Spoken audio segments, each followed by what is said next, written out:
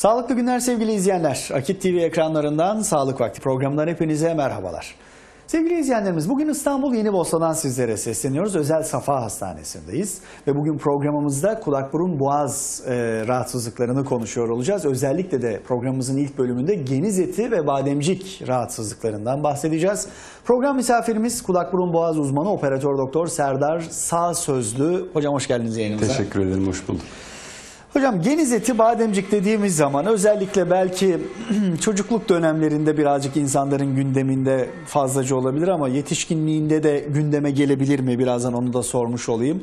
Ee, ama insanın hayat kalitesini olumsuz etkileyen e, ve e, konuyla alakalı tedavilere insanı ister istemez sürükleyen bir rahatsızlık. Önce bir tanımlayacak olursak nasıl bir rahatsızlıktır? Geniz eti ve devamında bademciğe de kendiliğinden geçecek olursak vücudumuzun hangi bölgesinde bulunur? Ne işe yarar aslında bu bölge? Tabii geniz eti ve bademcikle ilgili rahatsızlıkları bilmeden önce bunların ne işe yaradığının bilinmesi önemli. Ee, geniz eti ve bademcikler boğazımızda ve boğazımızda e, küçük dilimizin arka üst kısmında yer alan vücudun savunma sistemiyle alakalı, bağışıklık sistemiyle alakalı koruyucu dokulardır. Yani bunların görevi e, Türkçesi e, ağızdan giren mikroplara karşı vücudun ilk polisi bunlar. Evet. Mikropları tutup e, kişide bir hastalık oluşmasın diye gerekli savunma hücrelerimizin salgılandığı yapılar. Yapılar. E, geniz eti ve bademcik vücut için faydalı yapılardır. Yani yaratılış amaçları zaten vücut korumaktır. Fakat bazı durumlarda geniz eti ve bademcikler kendileri hastalanabilip vücuda zarar vermeye başlıyorlar. Evet. İşte orada problem başlıyor. Burası önemli zira dediğiniz gibi yani bu hastalıkların da e, öyle bir e, şey ki e, işte beraberinde ateşi de gelebiliyor. Genel vücudu çok manada e, sıkıntıya sokabiliyor. Belki horlama vesaire şimdi biraz sonra onlarda devam edecek. E, peki hocam şimdi geniz eti ve bademcik vücudumuz için önemli. Şimdi bunların biraz sonra ameliyatını da konuşacağız ama şurada şu soruyu sormuş olayım. Bu ameliyatlarla alınabiliyor sonuçta bu organlar. Alındığı zaman bir problem olmuyor mu? Hayatı nasıl devam ettiriyor? sonra? Şöyle ki eğer sağlıklı çalışan bir bademciğin alınması gündeme gelecekse evet bunu almanın bazı vücut için sakıncaları vardır. Fakat burada bu e, hastalar tarafından da bize çok sık sorulan bir şey. Hani bademcikler alındığı zaman vücut savunmasız mı kalır sorusu akla geliyor. Biz burada hastalıklı ve vücuda faydası olmayan tam tersine vücuda zarar vermeye başlamış bir yapının alınmasından bahsediyoruz. Dolayısıyla vücudun hiçbir kaybı olmamakta. Hatta vücut üzerindeki bu ağır yükten kurtulup devamlı savaşmakta zoru, savaşmak zorunda olduğu bir yükten kurtulup e, adeta bir rahatlama dönemine giriyor. Giriyor. E, vücut zaten bu geniz eti ve bademcik fonksiyonlarını yapamadığı için e, bunların yerine aynı fonksiyonları yapan başka dokuların aktive olmasına sebep oluyor. Yani organizmamız bir bütün. Bir tanesi çalışmıyorsa hemen onu kompanze etmek için başka dokular devreye, Devreye giriyor. giriyor. E, dolayısıyla bademcikler alındığı zaman gerçekten gerekçe dahilinde alındığı zaman vücut için hiçbir ekstra problem olmamakta. Kimler risk altında? Daha fazla kimlerde görülüyor e, özellikle geniz eti ve bademcik rahatsızlıkları? Geniz eti ve bademcik rahatsızlıklarının çok büyük bir çoğunluğu çocuk hasta grubundan oluşuyor. Neden? Çünkü çocukların savunma sistemleri henüz bir yetişkin kadar gelişmemiş. Artı çocuklar okul gibi e, toplu yaşam alanlarında bulundukları için e, aynı ortamda bulunan birçok çocuğun taşıyabileceği birçok farklı e, mikrop türü olabiliyor. Bunlar da çocuklar arasında bulaşma kolay olduğundan, çocukların hijyenlerine e, bir erişkin kadar çok dikkat edememesinden dolayı çocuk hastalarda daha sık görülen ra- rahatsızlıklardır. Burada e, çocuklarımızda neyi görüyorsak hocam bu bir uzmana mutlaka gitmemiz lazım. Yani ne gibi e, belirti veriyor? Şimdi aileler zaten çocuklarının hasta olup olmadığını çok güzel gözlemliyorlar. Çocukların ilk doktoru aile. Aile. Aile çocuktaki bir e, boğaz ağrısını, buna bağlı oluşabilecek bir yutma güçlüğünü, ona bağlı bir iştahsızlık durumunu zaten hemen seziyor. E, burada dikkat edilmesi gereken noktalar şunlar. E, boğazı ağrıyan her çocuğa antibiyotik verilmemeli mesela. Antibiyotik vermemiz için bu bademcik iltihabını yapan mikroorganizmanın bakteri olması lazım. Çocuklarda %50'den daha fazla oranda virüsler sebep oluyor bademcik iltihaplarına ve bunlar da kesinlikle antibiyotik tedavisi gerekmemekte. Bir ailenin çocuğunda boğaz ağrısı, ateş, kırgınlık ve buna bağlı iştahsızlık gibi durumları olduğunda doktora müracaat etmesi gerekiyor. Biz yani geniz eti ve bademcikle alakalı yoğunlaşmamız için bir sene içerisinde kaç tane bu hususta sıkıntı yaşamak lazım ki e, artık yani bu geniz eti ve bu bademcik problem oluşturuyor diyebilmek adına? En önemli sorun bu. Biz bir hastada geniz eti ve bademcik ameliyatına karar verirken en çok dikkat ettiğimiz şey bir yılda ya da bir kış mevsiminde geçirilen bademcik iltihabı sayısını Sayısı. göz önünde bulunduruyoruz. Şimdi bununla ilgili birçok yayın yapılmış, birçok araştırma yapılmış. Ee, şu kanaate varılmış. Bir sene içinde bir çocukta 7 kere bademcik iltihabı oluyor ise artık o bademciklerin vücuttan alınması gerekiyor, demektir. Çünkü o bademcikler fayda vermeyi bırakın artık vücuda zarar veriyor demektir. Bu bilgi Bademcik, önemli. evet, bu bilgi önemli. Bir yılda 7 kere oluyorsa bademcikler alınması lazım. Bunun yanında her sene, tekrarlayan her sene beşer kere olmuş olması da yine bademciklerin alınması için bir gerekçedir. Yeterli sebep. Yani tekrarlayan her sene bu çocukta beşer kere bademcik iltihabı oluyor deniyorsa ve bu ateşle boyundaki lenf bezelerinin şişliğiyle karakterize ise yani bir bakteriyel enfeksiyon düşünülüyorsa artık o bademcikler vücudu koruyamıyordur, alınması gereklidir. Geniz eti için ise geniz etinin e, enfeksiyonu bademcik kadar belirti vermeyebilir. Daha çok çocuklarda e, bir gribal durum, burun akıntısı, e, nefes alma güçlüğü gibi şikayetlerle kendini gösterir. E, ve bu çocuklarda tipik olarak horlama olur. Ailelerin bize getirdiğinde çok klasik bir e, sözü vardır. İşte erişkin bir adam gibi horluyor adeta. Bu cümle zaten bizde direkt geniz eti vardır bu çocukta düşüncesini oluşturuyor ve ona göre e, muayenemizi gerçekleştiriyoruz. Geniz etinin muayenede tanınması kolaydır.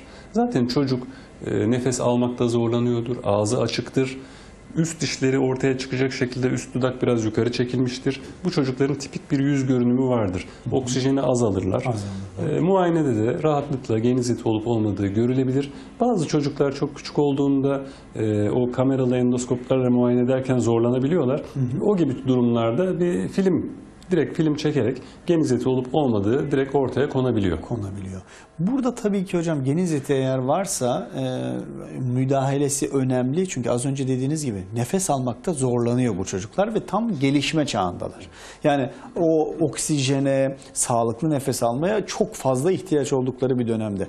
E, şöyle bir durum yaşanıyor mu? Yani geniz eti almadan önce çocuk minyon bir şekliyle hayatını sürdürmüş. Geniz etinden sonra bir gelişmeye başlamış. Bir Böyle şeyler de olabiliyor sanırım değil mi? Anlatılıyor çünkü. Şimdi vücudumuzun gelişmesi ve büyümesi için oksijene ihtiyacı var. Bütün dokularımız oksijenin varlığıyla aktifleşiyor, o şekilde çalışıyor.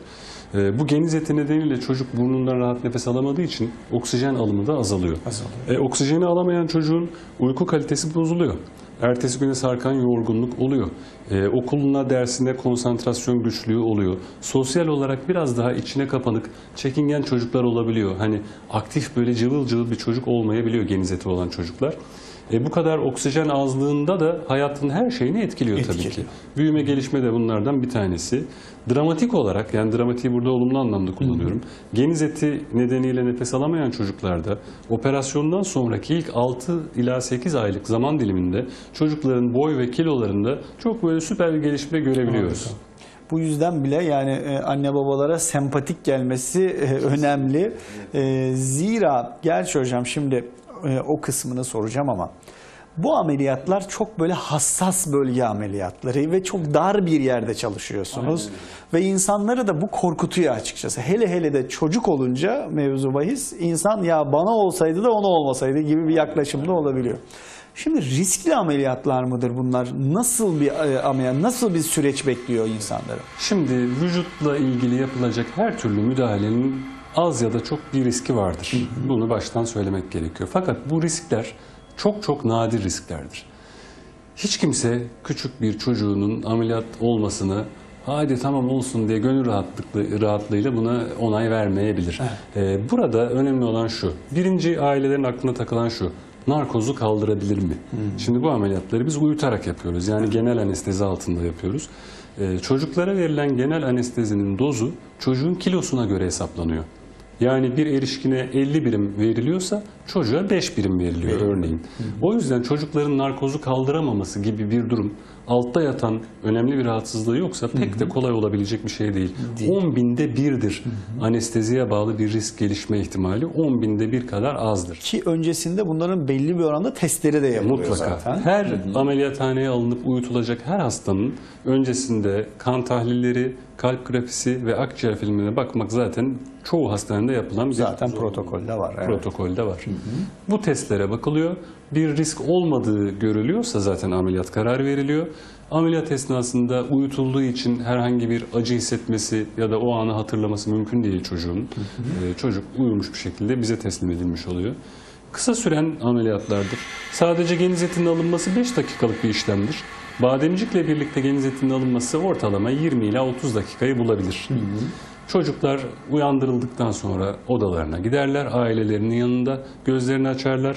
Ee, çoğu hasta hastamızı aynı gün akşam saatlerinde eve de gönderebiliyoruz.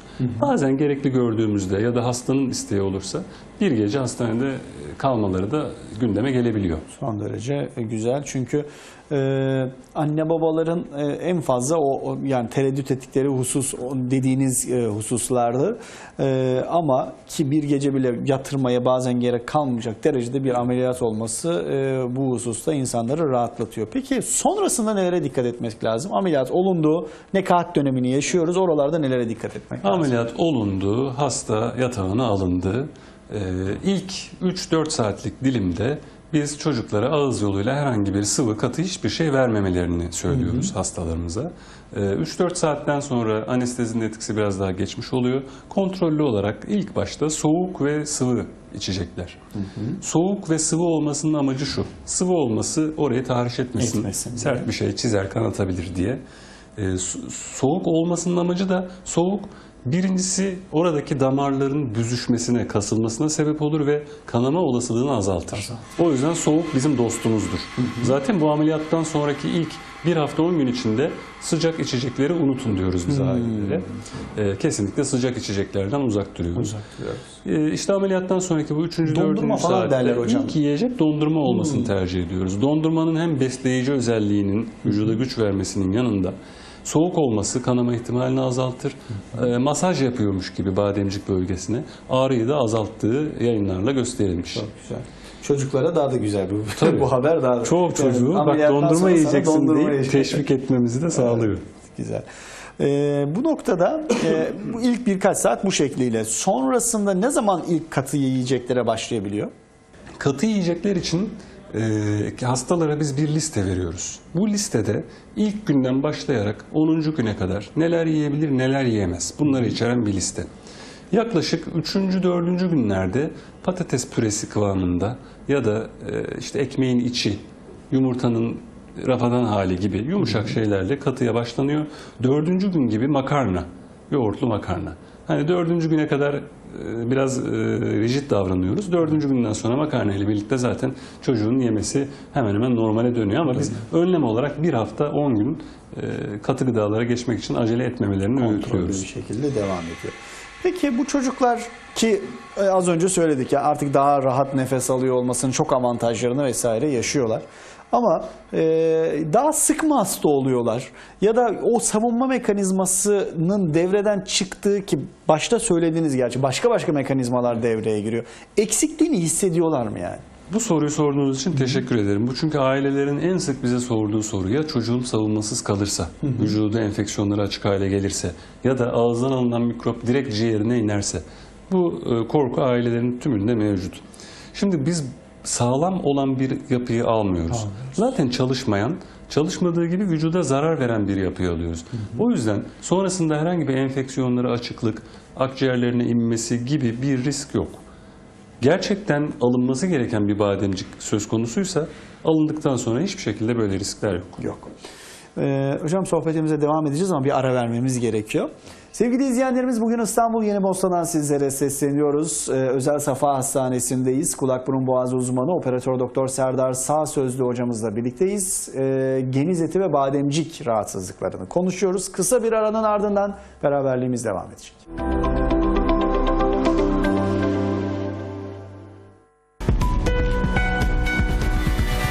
Ekranlarında Sağlık Vakti programı devam ediyor. İstanbul Yeni Bosna'dayız bugün. Özel Safa Hastanesi'nden sizlere sesleniyoruz. Kulak burun boğaz uzmanı operatör doktor Serdar Sağ Sözlü hocamızla birlikteyiz. Programımızın birinci bölümünde geniz eti ve bademcik hastalıklarından bahsettik ve bahsetmeye de devam ediyoruz. Ee, bu rahatsızlık ne- nasıl bir rahatsızlıktır? Vücudumuzda geniz eti ve bademciğimiz hangi görevleri üstleniyor? Ne yolunda gidiyor da gitmiyor da bu rahatsızlıklar başımıza geliyor ve cerrahi müdahalelerle vücudumuzdan ayrılması durumunda neler yaşıyoruz ve sonrasında nelere dikkat etmemiz lazım? Programımızın birinci bölümünde konuştuğumuz konulardı. Yine devam ediyoruz geniz eti ve bademcik hastalıkları ile alakalı sorularımıza. Hocam burada e, bazen sonuçta yetişkin insanlar da bu ameliyatları olabiliyorlar. Çocukluk çağında e, sadece çocukları yeterli, çocuklar için geçerli bir ameliyat değil. Şunu merak ediyor insan yani hayatı boyunca insan ne şekilde geliyor bu yani sıkıntıyı yaşaya yaşaya bu kadar sene yani 20'li 30'lu 40'lı yaşlara kadar gelen insanlar olabiliyor. E, nasıl mümkün oluyor? Şöyle ki e, bu geniz eti ve bademcik ameliyatları daha çok çocuk hasta grubunda yapılır ama erişkinlerde de 50 yaşında, 55 yaşında ameliyat ettiğimiz vakalarımız var. E, Bademcik sonuçta erişkinlerde de olan bir yapı. E, Çocukluk yaşlarda sık sık bademcik iltihabı geçiren bir kişi zaman içinde bir duraklama dönemine girebiliyor bazen. Bu duraklama dönemi hastalarda ben iyileştim duygusuna sebep oluyor. O duyguyla ve bazı ameliyat korkuları olabiliyor ya da çevrenin yanlış yönlendirmeleri olabiliyor. Ameliyat olmanı tavsiye etmiyoruz. İşte ciğerlerine gider, savunmasız kalır vücut gibi az önce söylediğim e, şekilde bir şekilde bu hastalar tarafından ertelenebiliyor. Ama ameliyat gerekçesi erişkin hastalarımızda da vardır. Yani bir erişkin her sene 5 kere bademcik iltihabı oluyorsa, Oluyorsa. bununla ilgili antibiyotik kullanmak zorunda kalıyorsa her seferinde bu rahatsızlığı çekmesine hiç gerek yok. Bademcikleri ağız içinden kapalı bir ameliyatla alınıp hasta sağlığına kavuşabiliyor. Ha ne fark var? Çocuklardaki bademcik ameliyatlarından sonra iyileşmemiz son derece hızlı oluyor. Çünkü çocukların dokuları daha taze olduğu için vücudun iyileşme kapasitesi de çok iyi.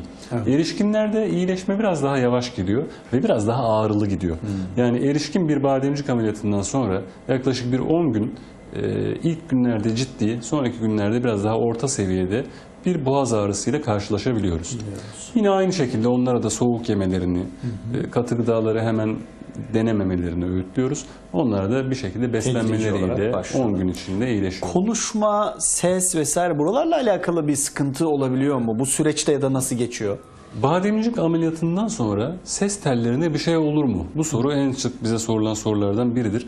Hiç e, bağlantısı yok. Ses telleri bademciklerin oldukça altında yer alır. Ameliyatta biz o bölgeyi görmeyiz bile. Görmeyiz, Fakat şu var, ameliyattan sonra çocuklarda özellikle ailelerin bize bahsettiği şey şudur. Bu çocuğumun ses tonu biraz değişti. Neden değişiyor? Çocuk ağrı nedeniyle oradaki ameliyat bölgesindeki kaslarını e, eskiden olduğu gibi tam rahat kullanamıyor. Kaslarının kasılmasını ayarlayamıyor. Bundan dolayı ses tonunda biraz değişiklikler olabiliyor. Ama iki hafta. İki hafta sonra iyileşme artık tamamlandıktan sonra çocuğun konuşması tamamen normale dönüyor. Eskisi olmuyor. Yani bademcik ameliyatından sonra kalıcı bir ses değişikliği olma ihtimali hemen hemen sıfırdır. Sıfır. Peki nekat döneminde konuşmamak gerekiyor mu? Konuşmak bademcik ameliyatına bir zarar vermez. Vermez. Ama ağrı olursa çok da kendinizi zorlamayın diye hastalara öğütlediğimiz oluyor tabii. Anlaşıldı. Bu noktada hocam peki tekrar eder mi? Yani tekrar eder miden kastım şu. Sonuçta alınan bir organ tekrar yerinden çıkacak değil ama ameliyat bir kez olundu Ee, ama bu konuyla alakalı e, e, tekrar bir ameliyat olma ihtiyacı hasıl olacak bir durum yaşanır mı? Bademcik ameliyatından sonra tekrarlama son derece nadirdir. Ne zaman tekrarlayabilir? Bazen özellikle erişkin hastalarda bademcikler yıllar içinde iltihaplana iltihaplana çok yapışık hale geliyorlar. Bademciğin yuvasına bademcik çok yapışık hale geliyor. Biz bunları alırken dil kökü kısmında bazen kanamayı önlemek adına bir, bir parça bademciği bırakmak zorunda kalabiliyoruz. Hani daha riskli bir durum oluşmasın, kanamasın diye. Diye. Bir parça bırakmak zorunda kalabiliyoruz. Eğer böyle bir şey olursa tekrarlama olabilir. Fakat bu çok çok nadir bir durumdur dediğim gibi. Çocuklardaki bademcik hemen hemen hiç tekrarlamaz. Sadece geniz etiyle ilgili durum biraz farklı. Geniz eti bademcik gibi kapsüllü bir organ değildir. Yani bademciyi kapsülüyle birlikte alırsınız ortadan kalkmış olur. Ama e, geniz etinde kapsül olmadığı için tekrarlama ihtimali olabiliyor. Yaklaşık %10 diyebilirim buna da. Yani 10 tane çocuktan birinde geniz etinin tekrarlama durumu oluyor. Olabiliyor. Fakat tekrarlama olasılığı %10 diye çocuğu tıkayıp nefes almasını engelleyen o yapıyı da orada bırakmak mantıklı değil tabii ki. Bu da çok önemli. Velev ki e, o %10 kategorisinde olunmuş olsa bile e, önceki ameliyattan daha fazla bir şey yaşanıyor Tabii ki, olacak tabii ki, yani tabii ki. sonuçta. Burası da e, bu bilgi de önemliydi. Peki hocam yine e, yani solunumumuzu solunumumuzu etkileyen hususlardan bir tanesi de insanın hayatının bir her döneminde başına gelebileceği ya da farkına verebileceği bir husus burun tıkanıklığı. Şimdi e, burun tıkanıklığı neden olur? E, normal zamanlarda nezle, grip olduğumuz zaman burnumuzun tıkanmasını bekleriz. Onlar da çok keyif kaçırıcı bir şeydir. O arada ne yediğimizden bir şey anlarız vesaire.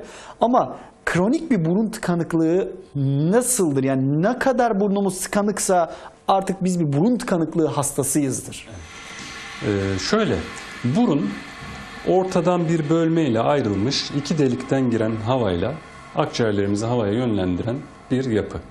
Burnumuzun koku alma fonksiyonu da var tabii ama asıl görevi, yaratılış amacı burundan nefes almamız. Nefes alma. Bu nefes sağlıklı olan nefestir. Ağzımızdan aldığımız nefes burnumuzdan aldığımız nefesin yerini tutmaz. Çünkü burnumuzun içinde yan duvarlarda konka dediğimiz et yapıları var. Herkeste olan yapılar bunlar. Bunların amacı havayı ısıtıp nemlendirmek. Isınmış ve nemlenmiş hava vücut için asıl gerekli havadır. O yüzden ağzımızdan aldığımız nefes burnun yerini tutmaz. Tutmaz. Burun tıkanıklığı ne zaman önemli? Bir insan ne zaman bunun için doktora görünmeli? Hasta değilse yani nezle, grip gibi bir durumu yoksa, günlük hayatında burnu tıkanıyorsa, bu sosyal olarak onu zorluyorsa, geceleri uykuya dalmadan önce burun tıkanıklığı nedeniyle zorluk yaşıyorsa, hatta sinir oluyorsa, gece çünkü uykuya dalacaksınız ama burnunuz tıkalıyor, bir türlü rahat uykuya dalamıyorsunuz. Bu artık doktora git demektir. demektir. Evet. Bu noktada hocam bazı kişilerin tek burnu tıkanıyor. Yani bir delik tıkanmış oluyor da bazen buraya gidiyor bazen oraya gidiyor. Bu neden olur? Şöyle, burunda bir siklus dediğimiz, nazal siklus dediğimiz doğal bir kanlanma süreci var. Yani insanların %80'inde var bu. Gün içinde bir, bir taraf tıkanıyor, saatler geçiyor bir bakıyorsunuz diğer taraf tıkanıyor. Bunun sebebi burnun damarlarının bir tarafta açılıp bir tarafta daralması. Gün içinde böyle değişiklikler olabiliyor. Ee, bir kişi de tek taraflı ya da çift taraflı sürekli hemen hemen günün e, dörtte üçünü kadar kapsayacak yoğun bir burun tıkanıklığı varsa o zaman muhtemelen içeride anatomik olarak bir eğrilik vardır. Burun orta bölmesini oluşturan kıkırdak ve kemik yapılar var. Bu orta bölmenin sağa sola eğrilmeleri burunun tıkanmasına sebep olur. Bu niye olur? Ya doğuştan olabilir ya küçükken geçirdiği bir travma, bir darbe.